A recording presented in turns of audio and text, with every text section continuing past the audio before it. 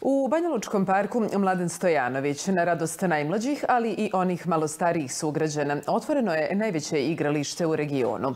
Igralište koje simbolično nosi ime Kula Avantura prostire se na 1500 metara kvadratnih. Uz nove trim staze, projekat je iznosio oko 800.000 maraka.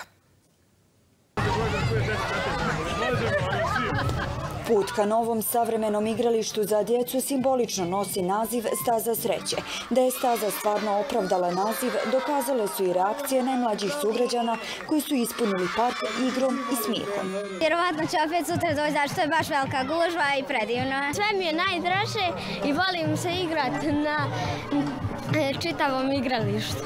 Meni je zipline najbolje. Oduševljenje nisu krili ni roditelji, a pored Banja Lučana neki su doputovali i iz drugih gradova Srpske kako bi doveli svoje mališane.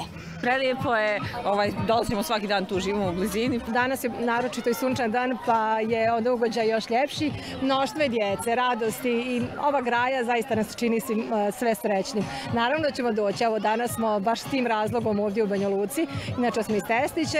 U novo igralište u sklopu multifunkcionalnog sportskog kompleksa uloženo je mnogo truda i novca. Upravo zbog toga neophodna je kolektivna odgovornost, poručio je gradonačelnik.